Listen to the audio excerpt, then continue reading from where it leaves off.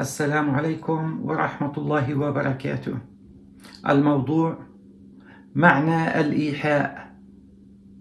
الإيحاء هو الإلهام.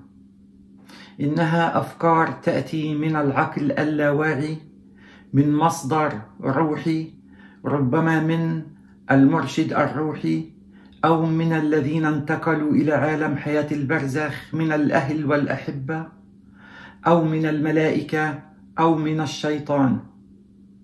يتلقاها الإنسان عن طريق الإيحاء وليس عن طريق الحواس لتنبيهه أو للقيام والتصرف بشيء ما إما لتحسينه أو تجنب شيئا ما. وإذا كانت من الشيطان تكون لعمل الشر. الإيحاء يتلقاه الإنسان عن طريق العقل اللاواعي وهذا العقل هو المتصل بالكون ومع من هم في حياة عالم البرزخ. قال تعالى وأوحينا إلى أم موسى أن أرضعيه فإذا خفت عليه فألقيه في اليم ولا تخافي ولا تحزني. إنا ردوه إليك وجاعلوه من المرسلين.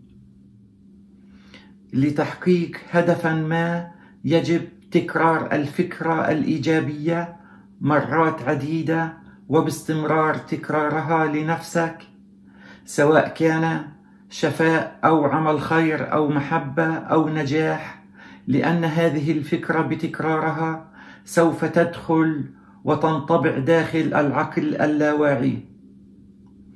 وبدوره يتقبلها ويبحث حلا لها من العقل الكوني. الذي بدوره يجد لك حلا للمشكلة فيلهمك عقلك اللاواعي ويوحي لك ماذا سوف تفعل مع مراعاة القوانين الطبيعية الدنيوية والسير معها بالتفكير السليم وأخذ الدواء والتغذية الصحية والتوكل على الله.